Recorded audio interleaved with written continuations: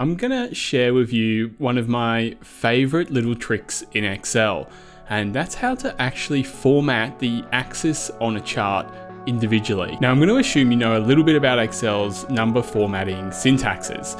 And if you don't or haven't heard about this, you can quickly Google it or just see how you go following along. If you really want, you can drop a comment below and let me know that I need to make another video so that I can explain this concept in more detail, but it's pretty simple. It's basically a way that Excel lets you write your own number formats, which goes positive, semicolon, negative, semicolon, zero, uh, followed by semicolon text as well. So we can actually use this system to create really cool axes on our chart. So I'm just in Excel now. I'm obviously working on the Mac today, so it might look a little bit different, but the first thing we're gonna do is insert just a standard line chart. I've got some old crude oil uh, futures data here that I'm using as dummy data for today. Anyway, I'm going to just go ahead and format the date axis, uh, make it a little bit tidier, um, just drop some months in there. So let's get started with this conditional formatting. The first thing you need to do is actually select the axis that you're interested in. I'm going to select the Y axis. Now the first thing I want to do is I'm going to just do a dummy one to show you kind of this concept. So I'm going to make this axis all green.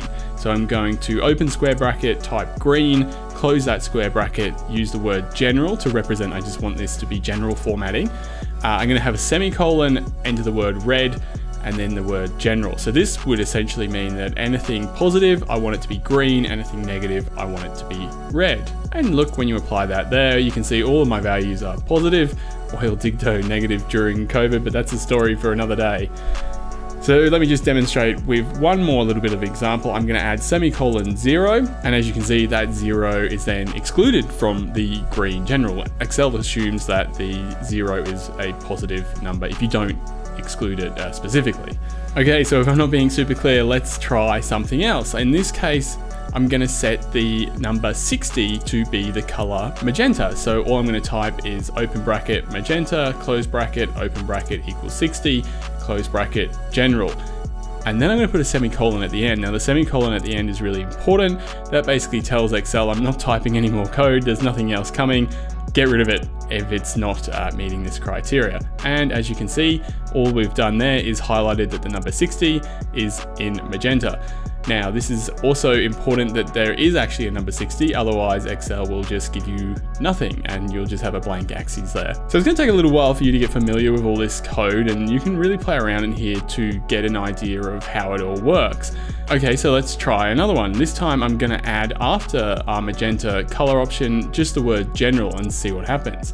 And would you look at that, it's given back our numbers and I'm just gonna put the size up a little bit there so we can see them a bit easier. Okay, so for the most part now, I've just been messing around changing the colors, which isn't actually very useful, but something that is incredibly useful and is something that I've used in my career all the time is actually changing the zero to be something that represents what the data is. So in this case, let's assume it's for per barrel of oil or dollars per barrel of oil. So you can see here it's between 80 and $140 per barrel.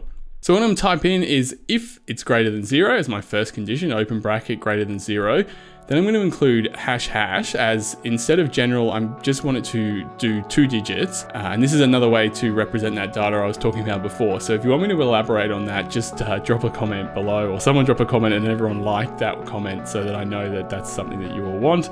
Uh, so then we've got the semicolon hash hash because we don't really aren't dealing with really a negative number uh, semicolon and this time I'm going to enter dollars per BBL. So this will return the zero as dollars per BBL. And as you can see, I now have this awesome figure, which shows it's uh, dollars per barrel of oil in the, this Y axis. Look, that was really fast. Uh, I uh, hope you managed to keep up. If you didn't, just hit pause, hit the J key to jump back. If you like this content, let me know, hit subscribe, hit like, or drop a comment as I've said before. I do have some other videos on making Excel figures, so make sure you subscribe if you want more of that. Otherwise, I'll see see you next time.